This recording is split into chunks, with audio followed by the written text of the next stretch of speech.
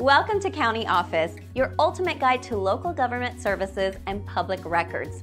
Let's get started. What is Type 3 EPA certification? Let's talk about keeping our planet green and our practices clean. Ever heard of Type 3 EPA certification?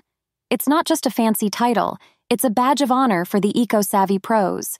This certification is all about handling refrigerants.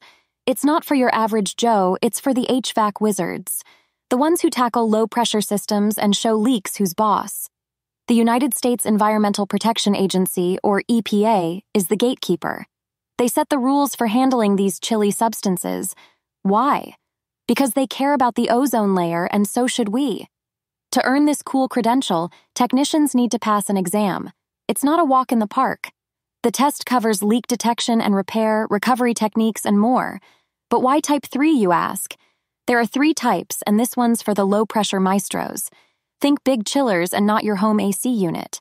And guess what? No grandfathering in this league. Everyone needs to study up and pass fair and square.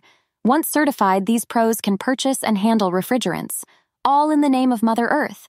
So next time you enjoy a breeze from an AC, thank a Type 3 certified tech.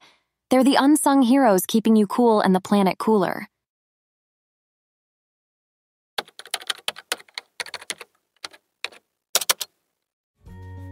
To learn more, check out these links, which you can click in the description below.